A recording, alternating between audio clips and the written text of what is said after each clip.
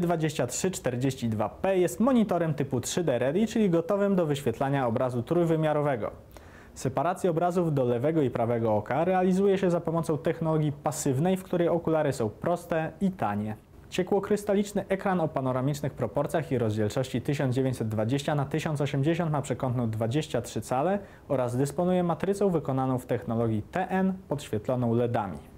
LG D2342P nie imponuje jednak możliwościami.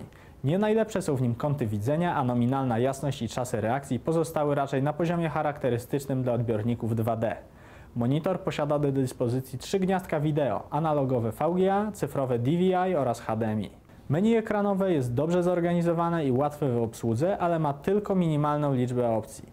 Nie ma potrzeby ustawiania w nim gniazda, którym będzie docierał sygnał, gdyż jest ono identyfikowane automatycznie. Monitor wyróżnia się bardzo kontrastowym obrazem, zarówno przed jak i po optymalizacji utrzymywał się na bardzo dobrym poziomie 950 do 1. Pochwalić należy także równomierność podświetlenia, 97% to prawie ideał.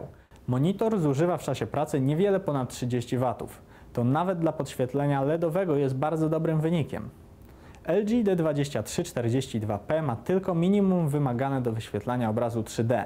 Konsekwencją tej strategii jest atrakcyjnie niska cena odbiornika kierowanego do niezbyt zaawansowanego użytkownika.